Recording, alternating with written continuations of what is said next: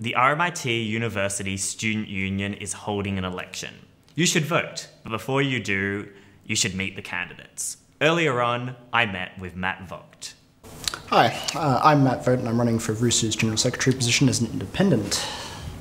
So, what do you believe is the key role of RUSU in student life at RMIT? Well, the key role of RUSU in student life at RMIT is to safeguard the student rights and well-being at RMIT. What are examples of those, those rights? So, making sure that when disciplinary action is taken against students, it is done in a fair and unbiased manner. Could you give me an example of what are your most important policies? So, the most important policy that I reckon that my campaign is coming with is that uh, is the promotion of greater mental health services in the in student life and provided by the university. So the medical hub that they've got is it upstairs? Yes, it's upstairs. Um, so the medical hub they've got upstairs and the Are You OK week they're setting up up this week. It's a good start, but we need to get it so that it is available year round and for anyone that were to require it. So beyond welfare, um, what are your policies to do with student life? Uh, let's see, student life.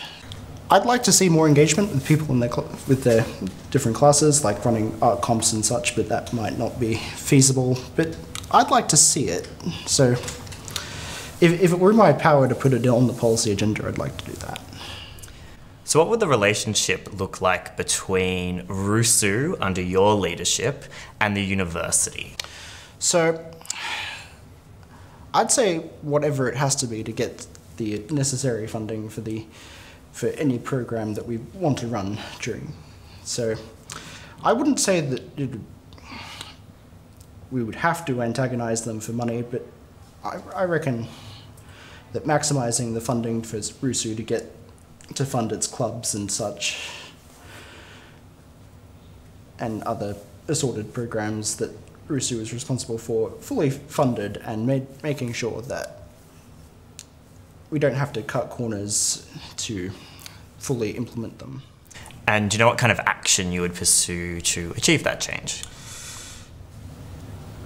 So we definitely want to negotiate with the university leadership to secure as much funding as we can. Uh, I recently saw that there was a big vote that they had for the SSAF and how they get that money and how they're distributing it and how people are feeling about how it is distributed.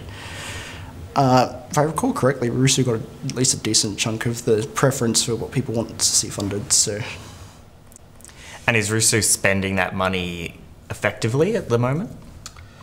If if we can find a way to make whatever we do get more effective, I'd I'd like to see that happen. Now, what are your commitments to the transparency of the union and student media on campus? I'd like to see the more of RUSU's activities being open to to criticism by the student electorate. I'd like to see the reports have more details about the going-ons inside the RUSU bureaucracy. I'd also like to see more of the student media across campus, like more than just being relevant for media students wanting to get their media projects going. Like, this is the second time I've heard of the Swanston Gazette, for example. I'd like to see more students know of the different media groups we've got floating around and see them on in and around campus. Now, what I'm really interested in is about you yourself, Matt. It's a quite a bold move to participate in this kind of electoral democracy as an independent candidate. Yes. So where did that come from? Uh, I told people last year that I, I would be a candidate in this year, and I'm committing to my decision. okay. Do you want to see some change? What's really motivating that? Uh, let's see. Really motivating me to change. So I, I walk around campus and see there's always never enough tables or never enough funding for whatever the projects are trying to get on, and I'd I'd like to see some some of the resources getting some getting the density of the study spaces increased. So I'd like to see more tables, more chairs, more places that people can study. Uh, I'd also like to lobby the the relevant department, and I'm pretty sure it's municipal, to get the um, the restrictions on on the, the restrictions for people smoking similar. So I'd like to see them at university to be similar to the restrictions that are already in place for primary and secondary education or facilities. So I'd like to see a 12 meter no smoking zone around the university buildings. So that which would hopefully cut down on the amount of people that are outside, say, building AD, and everyone hates that. Mm. Now, it's important for students to know exactly who they're voting for. Um, are you a member of any clubs or organisations here on campus? Uh, I am a member of, of two clubs on the university campus, so I'm part of the Liberal Club and the Christian Union. Okay. Will that influence how you um, conduct yourself as General Secretary?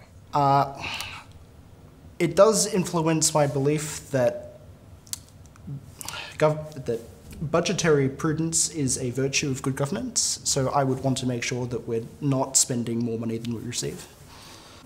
We're covering the entire student union election, so stay tuned with that coverage, check out the Swanston Gazette on Facebook, Instagram, and on our website.